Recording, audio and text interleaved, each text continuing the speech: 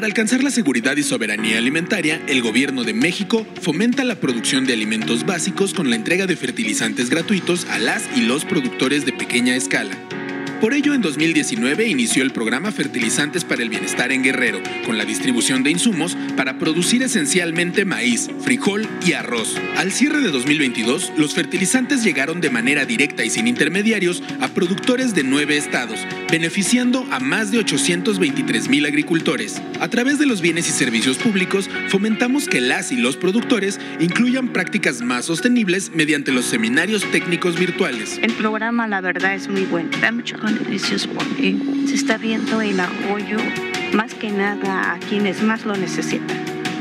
A lo que más necesita, a veces nosotros no valoramos el esfuerzo de los productos que llegan al mercado, pero no se sabe todo el trayecto, todo lo que se tiene que pasar antes para que se pueda eh, disfrutar de todos estos este, alimentos, de todos los productos que provienen del campo.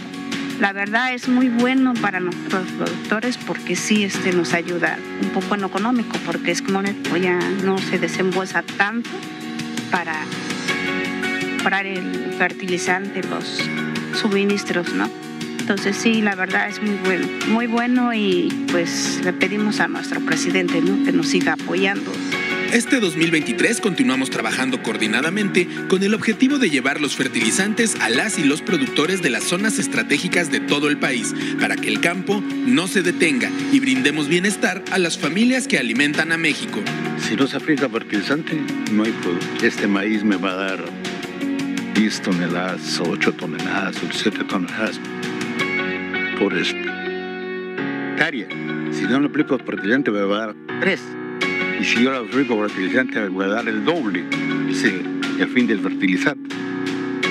Y con este apoyo que tenemos, no gran aliviane a la bolsa del campo. Sí, campo da. El campo es vida, el campo nos da de comer, porque sí nos da de comer. Conoce más en gov.mx diagonal agricultura.